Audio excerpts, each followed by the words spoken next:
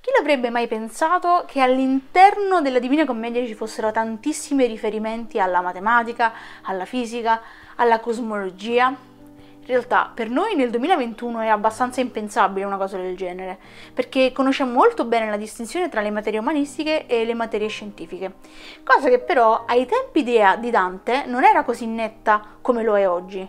E quindi ritrovare alcuni fenomeni scientifici tra le righe della Divina Commedia non deve essere così assurdo. Oggi vedremo, in onore dell'anno dedicato a Dante, alcuni pezzettini in cui Dante ci dà degli spunti per parlare di scienza.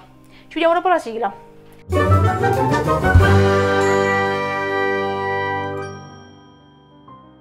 Benvenuti in questo nuovo video di Fisica in pillole.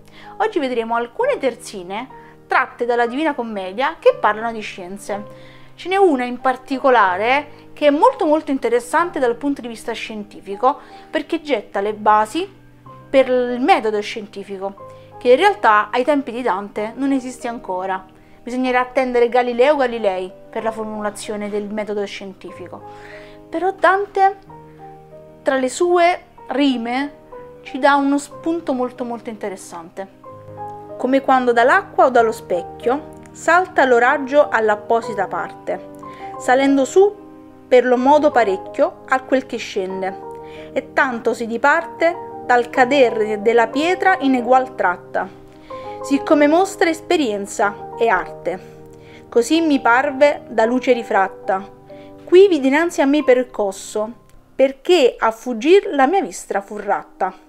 Cerchiamo di contestualizzare questi versi. Dante si trova nel purgatorio e ha una luce che riflette su di sé. A un certo punto questa luce diventa così intensa da quasi accecarlo e lui dice che deve voltare lo sguardo per non rimanerne accecato, ma quello che è interessante dal punto di vista scientifico è il modo in cui dice che questa luce è intensa e che lo acceca.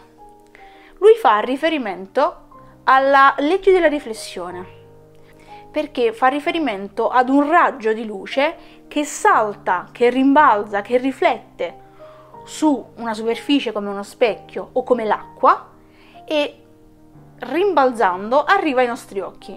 Infatti quando noi guardiamo il mare e riflette la luce del sole ci dà molto fastidio perché il raggio ci arriva direttamente negli occhi. E lui fa proprio riferimento a quella legge, alla legge della riflessione. Quindi per quanto non fosse formulata ai tempi di Dante la legge di Snell-Cartesio e diciamo tutta la parte dell'ottica dei raggi di luce, in realtà Dante sapeva, conosceva come funzionava la riflessione della luce. Cosa vuole fare Dante in questi versi? Cosa vuole esprimere tramite la descrizione così bella e così poetica della riflessione? Vuole far capire a chi sta leggendo che la luce che gli arriva non è una luce che è propria degli oggetti che stanno emanando quella luce, ma che in realtà stanno riflettendo una luce. La luce di chi? La luce di Dio. Ovviamente eh, non dobbiamo mai dimenticare il, tutti i riferimenti a Dio che ci sono nella Divina Commedia. Ovviamente il pensiero scientifico c'è, ma come vedremo è ancora lontano dalla realtà dei fatti, che quindi è ancora una spiegazione scientifica, metafisica, non ancora fisica, di molte cose. Adesso c'è un altro passo che vi vorrei analizzare, è molto molto bello e che non descriverò nei dettagli, ma vi leggerò solo le terzine più importanti, che come vi accennavo prima danno un mini segno di metodo scientifico. Ma ditemi, che sono i segni bui di questo corpo che laggiù su in terra fa di Cain favoleggiare altrui? Ella sorrise alquanto. E poi, se egli erra l'opinione, mi disse, di mortali dove chiave di senso non diserra.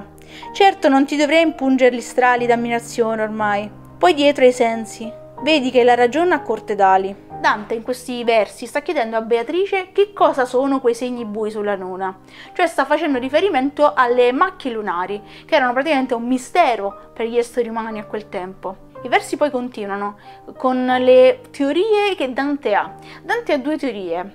La prima possibilità è che le macchie lunari siano dovute a una densità diversa, nulla praticamente, eh, della Luna la seconda ipotesi che propone Dante a Beatrice è che la densità non sia nulla, ma che sia molto vicina allo zero, cioè sia minore comunque rispetto al resto della Luna.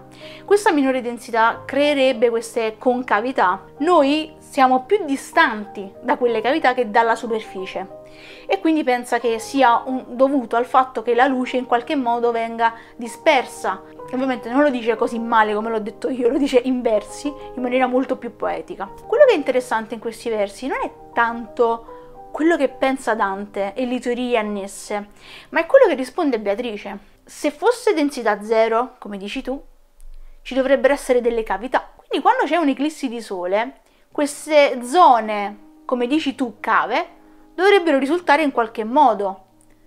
E invece no, non, non si vedono lo stesso. E come invece confuta la seconda ipotesi di Dante?